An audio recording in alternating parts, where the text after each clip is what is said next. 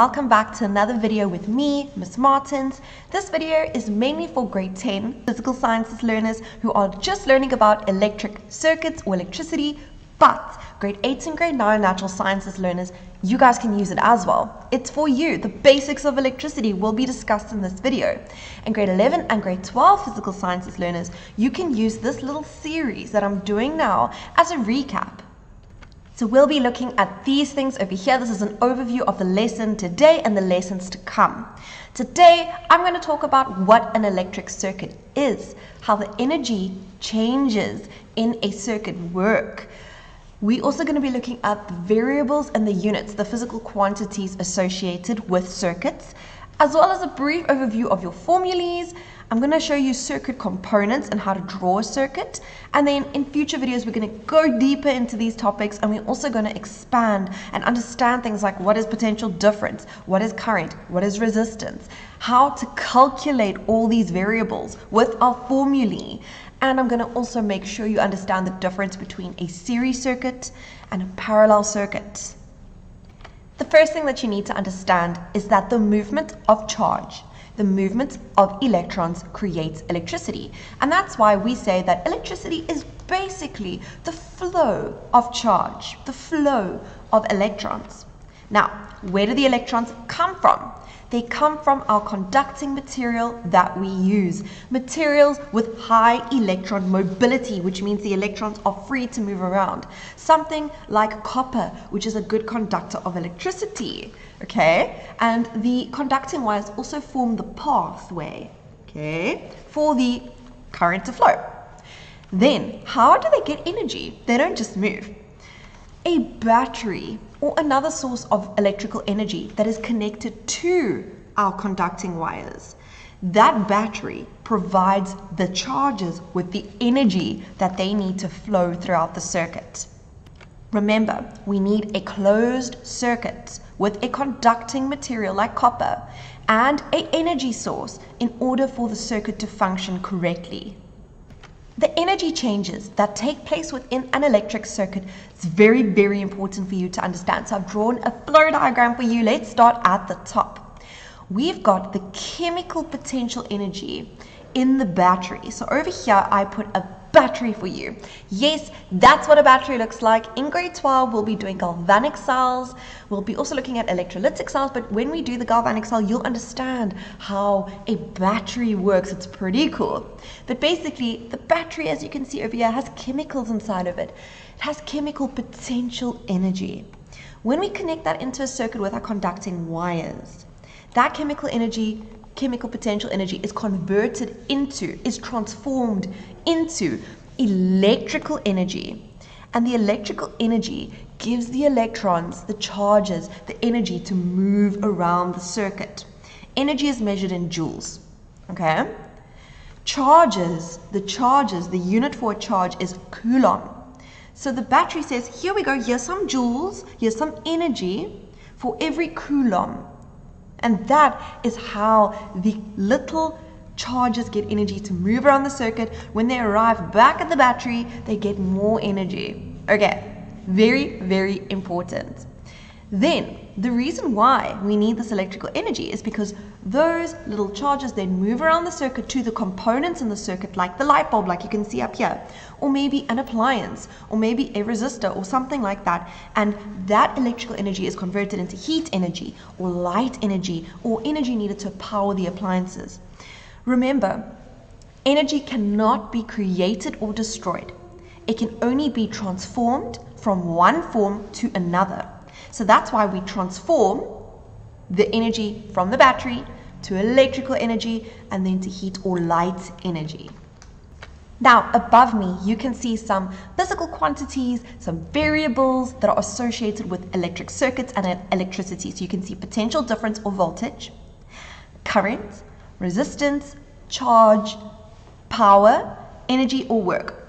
Each of these quantities have a letter in a bracket. That is the symbol that represents that quantity. So for example, a shorthand, instead of saying resistance, I can say R. So if I want to say the resistance of a light bulb is 10 ohms, instead of writing resistance equals 10 ohms. You can say R equals 10 ohms. With that being said, above me over here, let me just get myself over here. Above me over here are my units. So units, remember, that is what something is measured in. So if I want to say, hmm, I'm going to, I'm going to bake a cake and I need however many grams or I, I need however many milliliters. Those are units. If someone asks you for your height, you say, I'm 152 centimeters, something like that. That's a unit. So these are the units for the physical quantities listed alongside them. You need to know these. You need to study these. It's the saddest thing ever when in a test someone writes the unit for current as coulomb or volts or something like that. As you should know in physical sciences, it's also very important to always put your units in your answers. Now these over here these are my formulae or some of my formulae. We're not going to get into these into a lot of detail this video, but I just want you to keep in mind that this this section you need to conceptualize, you need to understand the concepts. What is the difference between a series circuit and a parallel circuit? How does it look? And then you need to be able to apply these formulae in the correct way for different parts of the circuit to work out things like current, potential difference, resistance, and we will get there. But for now, just be aware of them. So this is just a reminder that for electric current to flow, it needs a complete circuit, a pathway. We use conducting wires, generally copper, can be other things. It also needs the electrons, the current, the charges. They need a push, they need to flow. And that comes from the battery. What I've done here just to, you know, drive my point home, just so you know what I'm talking about, these are the quantities, the symbols, the units, and an example of how you would say it in a question, how they would say it in a sentence. So if we look at potential difference over here, potential difference, the symbol is V, but the unit is also V. So if we say the voltage, the voltage V across a resistor is 3 volts, 3V. Let's look at current. Current, the symbol is I. So you can say I, the total current I, is equal to 3 amperes. Then we got resistance, charge, work energy, and power. We will get to this. If you would like to see videos of me going over these, going over calculations for these, please let me know in the comments below. Whether or not I carry on with a series right away depends on how many people give me the feedback like, yes, we're doing this in class, I need this now. The last thing I wanted to go into in this video, and then in the next video we'll draw some circuits is the components that make up the circuit. So if they ask you to draw a series circuit, draw a parallel circuit, or draw a circuit with the following components, you need to know the symbols. So a cell looks like this over here. We've got the long terminal, which is the positive terminal, and the short terminal, which is the negative terminal. That pairing, that long line and then the short line, that generally makes up one cell. If they say a battery with three cells, we just draw three of them next to each other. Just remember, long terminal positive, short terminal negative. Little things, like we want to eliminate the negatives, they're little. Big things, positive, positive. Keep the big things positive, positive, big things, okay? then switch, open and closed, okay? Open and closed. Draw the little dots to indicate that that is the switch. A light bulb is generally drawn as a circle with a cross through it. Resistors are generally drawn as this little squiggly line, or you'll see in a lot of tests and exams, and this is how I do it with my students, we do a little box. And look at the variable resistor, a rheostat. A rheostat is something where we can change its resistance, we can make its resistance vary. It is a box with an arrow through it. Now, an ammeter down here versus a voltmeter ammeter, you can see a circle with the A in the middle, it's ammeter. Ammeters measure current, ammeter, ampere. Voltmeters measure potential difference or voltage, V. And I wrote here, if you can see, I wrote series and I wrote parallel for, the, for each of them. Ammeters measure the current and they are connected in series. The reason why is because they have a low resistance, they do not obstruct the flow of the current. Voltmeters, however, have a very high resistance. Therefore, they must be connected in parallel. so that they do not obstruct the flow of the current. The current's not going to want to go through them, so they're connected in parallel. Let me show you. So here's some information about batteries, which we have discussed. There's a symbol for a cell, and then for two cells, for example, which can make up a battery. Then we've got our conducting wire, we've got switches.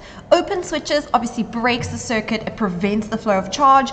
If we want an electric circuit to function, we need to close the switch to complete the circuit. This is what a light bulb looks like when it's in a circuit, as you can see over here, the little circle with the, the line, the cross through it, and over here we have a resistor. And resistors are basically used to control the strength of the current. As I mentioned, rheostats are resistors that we can vary the resistance. It's a variable resistor. We can increase the resistance or decrease it. This is what an ammeter looks like in real life, one example of an ammeter in real life.